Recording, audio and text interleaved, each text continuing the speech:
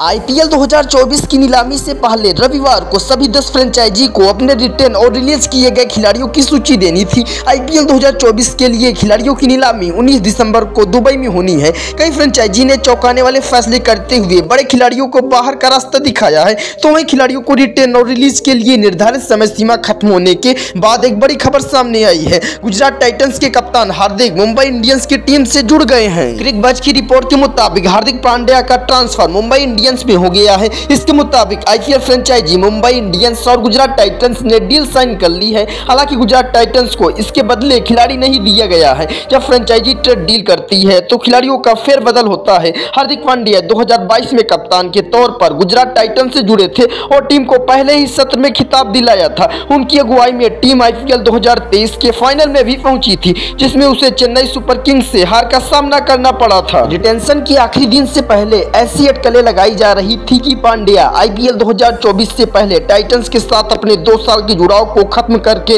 Mumbai Indians में फिर से शामिल हो सकते हैं। मुंबई की टीम ने आईपीएल 2024 के लिए रोहित शर्मा को अपना कप्तान बनाया है। हालाँकि रोहित शर्मा के करियर को देखते हुए फ्रेंचाइजी भविष्य की ओर देख रहे हैं और अब स्टेट के कन्फर्म होने के बाद तय हो गया है कि आने वाले समय में हार्दिक पांड्या मुंबई की कमान संभालेंगे। हार्दिक पांड्या की एक सीज़न की फ़ीस पंद्रह करोड़ रुपए है, लेकिन मुंबई और गुजरात फ्रेंचाइजी के बीच डील कितने रुपए में हुई है, इसको लेकर कोई आंकड़ा सामने नहीं आया है। इस ट्रेड में केवल नगद लेन देन शामिल है।